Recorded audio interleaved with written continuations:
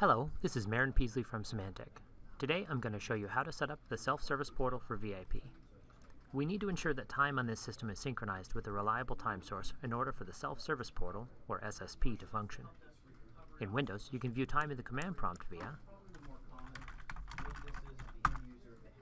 Let's compare that with a reliable time source.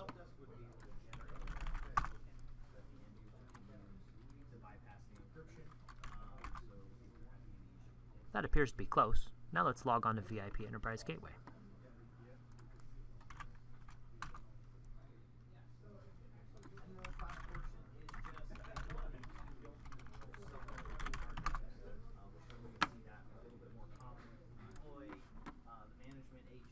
Select Identity Providers,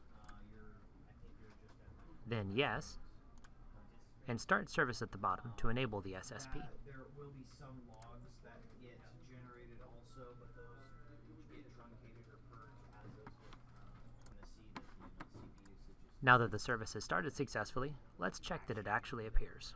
Um, but once it's encrypted, there should be very little. It works. Please see the follow-up videos for next steps. Thank you very much.